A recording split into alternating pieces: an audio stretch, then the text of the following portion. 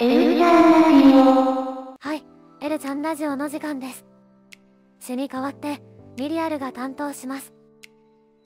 今回もお便りが届きましたので、そちらをテーマに進めていきたいと思います。ペンネーム、生まれ変わったらスライムになるさん、ありがとうございます。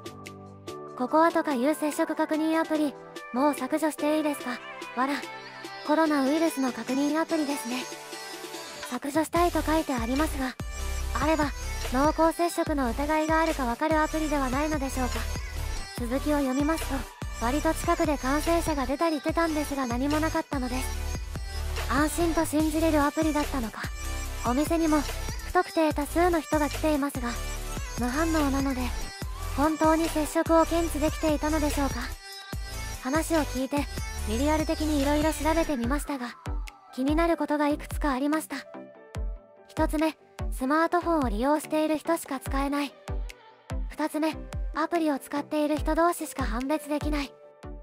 スマートフォンが普及してきましたが、まだまだガラケーを使われている人も大勢います。そして、OS によっては、通知が来ないらしく、アプリを毎日開かないとわからないそうです。生まれ変わったらスライムになるさ、のように、近くで感染者が出た方でも信用できていないアプリです。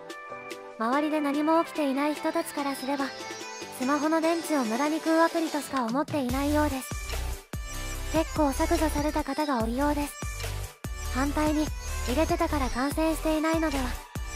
という意見も少数ではありますが、ありました。だからといって、削除していいものではありません。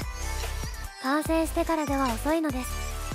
毎日、感染された方の数字が上昇しています。いろいろ、制限されてきついとは思いますが、不要不急の外出は控えてください。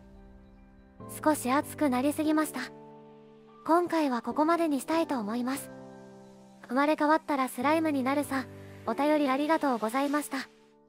皆さんからのお便りもお待ちしています。